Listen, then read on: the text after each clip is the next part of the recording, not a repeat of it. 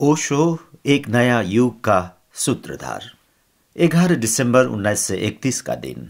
यस पृथ्वीमा क्रान्तिको एक अग्निपुष्प खिल्यो।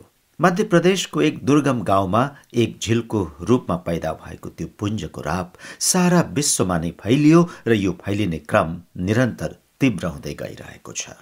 पछि गएर व्यक्तिमा शान्ति र समाजमा क्रान्तिको बेगुल फुग्ने तिनको नाम रजनीश चन्द्र मोहन राखियो। यिनले व्यक्तिको मौलिक स्वतन्त्रता धर्मको पेवा भएर बसेको पाखण्डको पूर्ण विरोध शोषणको पेसा बनेर बसेको धर्मलाई तर्क बौद्धिकता र विज्ञानको अग्नि परीक्षाबाट गुजारे।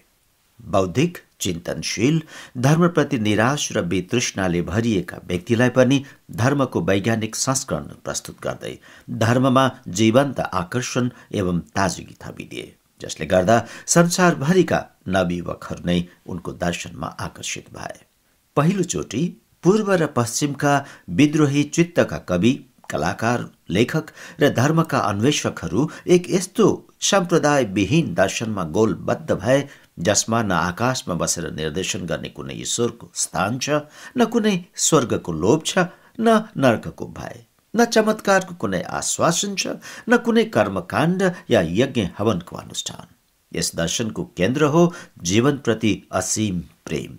मनुष्यको बेहोसीबाट उत्पन्न सबै प्रकारको सन्तापबाट सधैँका लागि विमुक्ति। बुद्धत्वको श्रृङ्खलामा ओशोबाट एक नयाँ युगको प्रारम्भ हुन्छ। उनलाई विगतका कुनै गुरु सन्त या बुद्ध पुरुषसँग दाँच्न सकिँदैन। उनी विभिन्न कारणले मौलिक र अनौठा देखिन्छन्।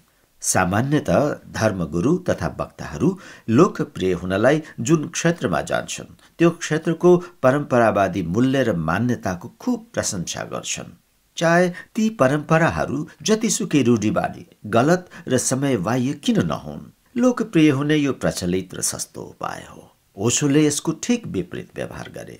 जब उनलाई गुजरातमा गान्धी शतवार्षिकीको उपलक्ष्यमा आदरणीय वक्ताको रूपमा आमन्त्रित गरियो उनले गान्धीवादको नाममा प्रचलित केही अवैज्ञानिक धारणाहरूको विरोधमा आफ्नो हात उठाए र आग्नेय प्रवचन दिए। जुन अस्वीकृतिमा उठा हात र गान्धीवाद एक समीक्षा पुस्तकको रूपमा सङ्ग्रहित छन्। भारतमा बसुन्जेल उनले भारतमा झाङ्गिएको अन्धविश्वास पाखण्ड र जडग्रस्त कर्मकाण्डमै सीमित भएको रुग्ण धर्मको जोरदार आलोचना गरे। दुश्मनी पनि कमाए। तर पूर्वका उपनिषद वेदान्त र गीताका अमर सन्देशलाई पुनर्जीवन प्रदान गरे। जिससका वचनहरूको सुन्दर र सरस शैलीमा व्याख्या गर्दै सयौं प्रवचनहरू दिए जसबाट सातवटा पुस्तक प्रकाशित छन्। इसाईहरू नै मान्छन् जिसस र बाइबलको यति सुन्दर व्याख्या कुनै इसाई विद्वान समेतले आजसम्म पनि गर्न सकेको छैन। उनले भारतमा बस्दा अमेरिकी स्वतन्त्रताको प्रशंसा गरे। तर अमेरिका प्रवासमा रहँदा इसाई धर्मले ईश्वरको नाममा गरेको युद्ध र हत्याको भेद खोल्दै यसले पाखण्डलाई प्रश्रय दिएको र उसले आफ्नो पवित्र स्रोत गुमाएको तथ्यलाई उजागर गरे। साथै अमेरिकी प्रजातन्त्रको खोक्रोपन र संसारभरि आफ्नो प्रभुत्व देखाउने उसको प्रवृत्तिको खुलेर आलोचना गरे जसले गर्दा उनले संसारको सबैभन्दा शक्तिशाली राष्ट्रको रिस थेक्नु पर्यो। अमेरिकामा उनको रजनीशपुरम नामको सुन्दर सहर उजाडियो। बिना वारेन्ट निहत्था उनलाई। दस दस किलोका फलामे सिक्रीहरूमा बाँधेर विश्व मिडियाको अगाडि परेड गराइयो। जेलमा यातना दिइयो र साधारणत पत्ता नलाग्ने थेलिम नामको सिन्थेटिक विष खुवाइयो। ओसो अघि गम्भीरता र उदासीलाई धार्मिक व्यक्तिको एक प्रमुख लक्षण मानिन्थ्यो। तर ओसो एक आनन्दित र उल्लासपूर्ण धर्मको पक्षमा छन्। जीवन उनका लागि आनन्द र उत्सवको एक अवसर हो। त्यसैले उनी अनेक जोक्स तथा सुरुचिपूर्ण बोध कथाहरूको सहाराले गहन आध्यात्मिक विषयलाई सरस ढङ्गले प्रस्तुत गर्थे। घन्टौँ उनका मधुर र काव्यात्मक शैलीका प्रवचन सुनेर पनि मानिसहरू अगाउँदैनथे र सबैलाई अरू सुनो सुनो लाग्थ्यो। प्रवचनपछि श्रोताहरू बडो प्रफुल्लित आह्लादित र ताजगीले भरिएर बाहिर आउँथे। उनी जस्तो सूक्ष्म हास्यबोध अर्थात् रिफाइन्ड सेन्स अफ ह्युमर भएको गुरु भेटिँदैन। ओसोको सौन्दर्य बोध पनि विलक्षण छ। उनको आफ्नो वरिपरिको परिवेश आफ्नो वेशभूषा र रहनसहनमा एक आभिजात्यपन झल्किन्थ्यो। उनी आफै पुस्तक प्रकाशनमा खुब चाख राख्थे। पुस्तकको बाहिरी आवरणदेखि प्रकाशनका विविध पक्षहरूको स्तरीयतामा विशेष जोड हुन्थ्यो। त्यसकारण सुन्दर डिजाइन सहितका आकर्षक पुस्तकहरू प्रकाशन गर्ने आश्रमले उनको जीवनकालमा लगातार बिस वर्षसम्म भारतको सर्वोत्कृष्ट प्रकाशकको पुरस्कार जितिरह्यो। उनका आश्रमहरूमा पनि उनको यो सौन्दर्य बोध झल्किन्छ। नेपाल जस्तो विपन्न देशमा स्थापित उनका कम्युनहरू ओसो तपोवन काठमाडौँ ओसो उपवन पोखरा ओसो जेतवन लुम्बिनी ओसो महापरिनिर्वाण धरान ओसो माधुर्य लहान। ओसो गङ्गोत्री धाम सौराहा। ओसो तथागत सलौली। ओसो सारीपुत्र धादिङ समेतमा पनि प्रकृतिसँगको राम्रो सामञ्जस्य सफाई र हरेक चिजमा एक भिन्न सौन्दर्यबोध परिलक्षित गरेको पाइन्छ। सौन्दर्यप्रतिको सम्मान ओसो संस्कृतिको एक आधार स्तम्भ हो। ओशोमा सङ्गीत र नृत्यप्रति एक गहिरो आकर्षण र रुचि देखिन्छ। उनका अधिकांश ध्यान विधिहरूमा सङ्गीत उत्सव र नृत्यको सुन्दर समन्वय भेटिन्छ। नृत्यले स्वत तनावलाई कम गर्छ भने सङ्गीतले हृदयलाई प्रफुल्लित र सम्पन्न बनाउँछ भन्ने उनको दृष्टि छ। नव आगन्तुकलाई पनि ध्यानमा सहज प्रवेश गराउनु ओशोको मौलिक विशेषता हो। ओसो सन्यासीहरूलाई नाचेर गाएर ध्यानमा प्रवेश गरेको देख्नेहरूलाई यो कस्तो ध्यान भनी प्रश्न उठ्न सक्ला? तर ओसोको दृष्टि बडो वैज्ञानिक छ। पहिले शरीरलाई सक्रियताको चरणबाट गुजारेर मनको कुण्ठालाई विसर्जित गरी व्यक्तिलाई सहज रूपमा मौन ध्यान र समाधितिर उन्मुख गराइन्छ। यो ओसोको नितान्त मौलिक देन हो। अरू बुद्ध पुरुषहरूले यस्तो सरस बाटो लिन सकेका थिएनन्।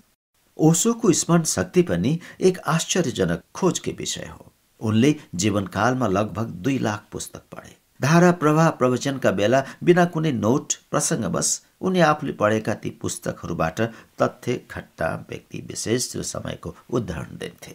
एकचोटि भेटेको मानिसलाई उनी कहिले बिर्सदैनथे कुनै व्यक्तिलाई दोस्रो चोटि भेट्दा पहिलो भेटमा भएका कुरा र घटनाको प्रसङ्ग पनि सहजै उठाउने गर्थे। उनका जीवनकालमै उनका लाखौं शिष्यहरू भइसकेका थिए। शिष्यलाई भेट्दा उनीहरूद्वारा विस्मित विगतका घटनाहरू पनि उल्लेख गर्दै ओसो उनीहरूका समस्या सुल्झाउँथे। यसबाट सबै चकित हुन्थे। प्रेम र आत्मीयता अझ प्रगाढ हुन्थ्यो। ओसो एक नितान्त यस्ता बुद्ध पुरुष हुन् जसले धर्मका सबै पक्षहरू साधकका लागि खोलिदिए। साधारणत कुनै पनि गुरुले आफ्नो परम्परा आफ्नो ग्रन्थ र आफ्नै बारेमा मात्र कुरा गर्छन्। तर ओशोले अतीतका सैकडौँ बुद्ध पुरुषहरू र अनेकौँ धर्म ग्रन्थको बारेमा पुरै प्रवचनमाला दिए र उनीहरूको सन्देशलाई जनमानसका सामु बुझ्ने भाषा र शैलीमा प्रस्तुत गरी अतीतको गर्वमा हराइरहेका ती बुद्ध पुरुषहरूलाई पुनर्जीवित गरे र समकालिक बनाए। ओशो नभएका भए Gurdjieff Dadu Jagjivan Paltu Malukdas Dharamdas Daya Sahajo Charandas वादिज Sarahapa Tilopa Bhikha Raidas Mabel Collins Blavatsky Hasid जस्ता व्यक्तिको हामीले सायदै नामै पनि सुन्ने थिएनौँ होला। तर आज ओसो मार्फत यी लगायत अनेकौँ सन्त पुरुषहरूसँग हामी एक आत्मीयता निकटता र प्रेम अनुभूति गर्छौँ। ओसो साहित्यबाट यिनीहरूको जीवन र शिक्षणको विस्तृत जानकारी ओसो पाठकलाई सहज रूपले प्राप्त हुन सक्छ। ओसोलाई सबैभन्दा विवादास्पद र अरूभन्दा अलग बनायो उनले सेक्स या काम ऊर्जाका बारेमा दिएका प्रवचनले।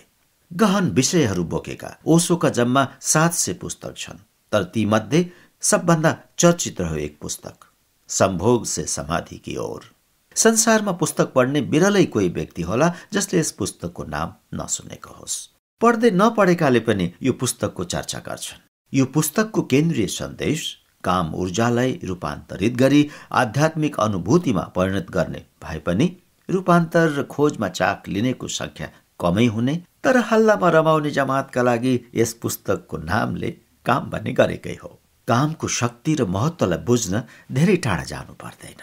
अलिक शान्त भएर इमान्दारीपूर्वक आफ्नै जीवनलाई हेरे पुग्छ कामको कस्तो वेग आकर्षण र प्रभाव कस्तो हुन्छ भनेर।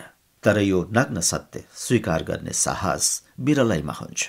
हामी कामबाट कति उद्वेलित प्रभावित र उत्प्रेरित हुन्छौँ। फ्रायड जोङ एडलर र रेकको वैज्ञानिक विस्फोटक खोजपछि पनि कामको बारेमा हाम्रो धारणा सैकडौँ वर्ष अघिकै छ।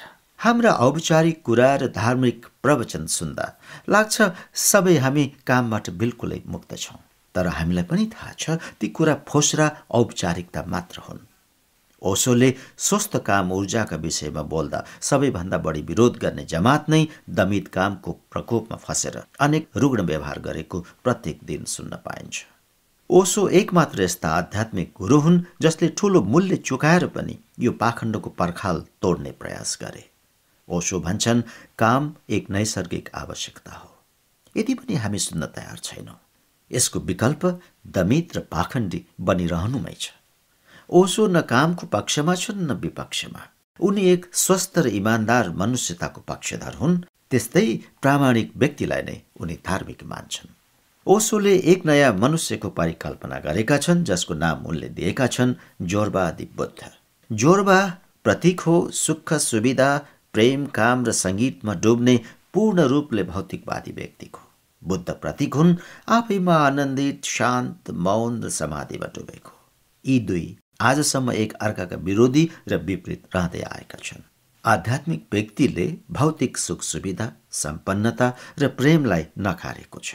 साथै भौतिकवादीहरूले धर्मलाई एक स्वप्नको संसार र अफिमको नशा भन्दै आइरहेका छन्। ओसो भन्छन् जब म बुद्धलाई हेर्छु उनी समाधिको आवाले मण्डित त छन् तर उनीसँग शरीर छैन। उनी भौतिक सुख सुविधा र नृत्यमा डुब्न सक्दैनन्। जब म जोरबालाई देख्छु उसँग भौतिक सबै समृद्धि छ। प्रेम र उत्सवमा रमाउन सक्छ तर ऊ आत्मविहीन र अशान्त छ। स्वयंको सत्तामा डुब्न सक्दैन। दुवै अधुरा छन् र एक अर्काका विरोधी छन्।